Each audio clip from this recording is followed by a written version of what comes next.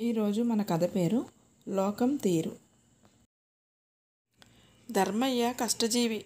రోజంతా శ్రమపడి పనిచేసి తెచ్చిన దానితో కలో గంజో తాగి గుట్టుగా సంసారాన్ని ఈదుకు వస్తున్నాడు. అతడిది కుచేల సంతానం.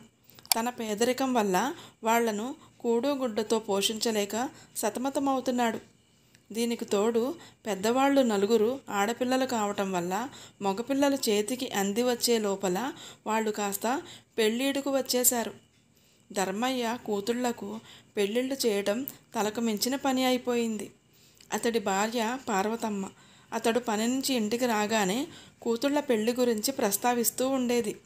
ధర్మయ్య భార్య వంక నిస్సహాయంగా చూస్తూ ఉండిపోయేవాడు.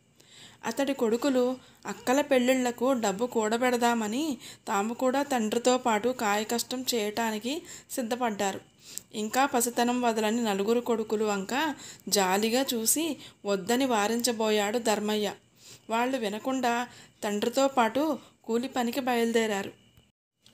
ధర్మయ్య ఇంటి పెరట్లోని వేప చెట్టును ఆశ్రయించుకొని గృహదేవతలు భార్య భర్త ఉంటున్నవి. ఒకనాడు మగదేవత ఆడదేవతతో మనం ఎంతో కాలంగా ఈ గృహాన్ని చెట్టును ఆశ్రయించుకుని ఉంటున్నాం కదా. అయినా ఎంతో పేదరికంలో ఉన్న ఈ ధర్మయ్యకు ఎలాంటి సాయము మనం చెయ్యలేదు. ఏదైనా సాయం చేస్తే బాగుంటుంది అన్నది. ఆ మాటలతో ఆడగృహదేవత జాలిపడి అవును ఏదైనా చేయడం బాగుంటుంది వీళ్ళది ఒకప్పుడు కలిమిగల సంసారం. పరిస్థితులు ప్రతికూలించి ప్రస్తుతం ఇలా పేదరికం అనుభవిస్తున్నారు. ఏం సాయం చేద్దామంటావు? అని అడిగింది. కొంత డబ్బు తెచ్చి ధర్మయ్య కళ్ళపడేలా చేద్దాం. దానితో అతడి కష్టాలు గట్టెక్కుతాయి. ఏ చింత లేకుండా కూతుళ్ళ పెళ్ళిళ్ళు చేసుకోగలుగుతాడు అన్నది మగదేవత. అందుకు ఆడదేవత సరే అన్నది. ఇద్దరూ కలిసి కొంత డబ్బు తెచ్చి ఆ రాత్రివేళ ధర్మయ్య పెరట్లోని బావి దగ్గర ఆ డబ్బు మూటను పడవేశాయి. ఉదయమే లేచి పెరట్లోకి వచ్చిన ధర్మయ్య ఆ డబ్బు మూటను చూసి దాని మూతికి బిగించి ఉన్న తాడు విప్పాడు. అతడి కళ్ళు చెదిరిపోయాయి. ఆనందం కొద్దీ పెద్దగా కేకపెట్టాడు అది విని ఇంటిల్లిపాది పెరట్లోకి వచ్చారు. అందరి కళ్ళు డబ్బు మూట మీద పంటాయి. ముందుగా ధర్మయ్య పెద్ద కొడుకు ఆడపిల్లల తర్వాతివాడు. తండ్రితో నాన్న ఈ డబ్బుతో మనం పెద్ద ఎత్తున వ్యాపారం ప్రారంభిద్దాం. మన దరిద్రం వదిలిపోతుంది అన్నాడు. ధర్మయ్య మిగిలిన ముగ్గురు కొడుకులు అన్నకేసి కోపంగా చూస్తూ అదేం కుదరదు. ఆ డబ్బులో కొంత ఖర్చు పెట్టి మేము ముందు చక్కని దుస్తులు కుట్టించుకొని మిగిలినది పెట్టి పట్టణంలో ఎవరైనా మంచి గురువు దగ్గర చదువుకుంటాం అన్నారు. కొడుకులు ఇలా అనగానే ధర్మయ్య భార్య ఆగండ్రా మీరు అంటూ వాళ్ళని కసురుకొని నాకు ఎన్నాళ్ళుగానో బంగారం నగలు చేయించుకోవాలని ఆశగా ఉన్నది. ఎంతకు వదలని పేదరికం వల్ల ఈనాటి వరకు ఆ ముచ్చట తీరింది కాదు. ఈ డబ్బుతో నగలు చేయించుకుంటాను అన్నది. ధర్మయ్య అందరినీ ఆగండి అన్నట్టు చెయ్యూపి ఈ డబ్బుతో ముందు ఒక చక్కని భవంతి కట్టుకోవాలి. తరువాత కొంత పొలం కొనాలి. అప్పుడే మనం ఊళ్ళో ఉన్న నలుగురిలోనూ దర్జాగా హోదాగా బతకగలం. కనుక నా మాట విని ఈ డబ్బు జోలికి ఎవ్వరూ రాకండి అన్నాడు. కొంచెం ఎడంగా నిలబడి ఇదంతా గమనిస్తున్న ధర్మయ్య పెళ్ళికెదిగిన కూతుళ్ళు మాత్రం ఏ కోరిక వెళ్ళబుచ్చలేదు. కానీ వాళ్ళ మనసులో తమ పెళ్ళిళ్ళ గురించి మోయలేనంత ఆరాటం మాత్రం ఉన్నది. వేప చెట్టు మీద ఉండి ఇదంతా గమనిస్తున్న గృహదేవతలకు ధర్మయ్య అతడి భార్య మగపిల్లల ప్రవర్తన చాలా ఆశ్చర్యం కలిగించింది. మగదేవత ఆడదేవతతో చూసావా వీళ్ళ కోరికలు? ఇప్పటి వరకు ఆడపిల్లల పెళ్ళిళ్ళ సంగతే ఎవరూ తేలేదు.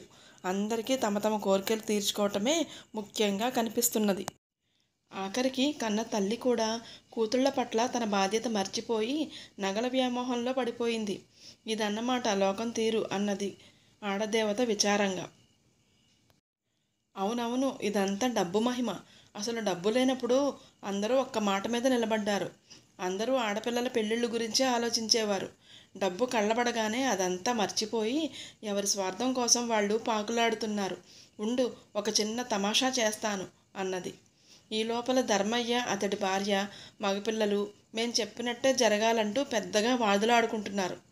ఇంతలో హఠాత్తుగా మూటలో ఉన్న నాణేలు చిన్న చిన్న రాళ్ళుగా మారిపోయాయి. అది చూసి అందరూ నివ్వెరపడిపోయారు.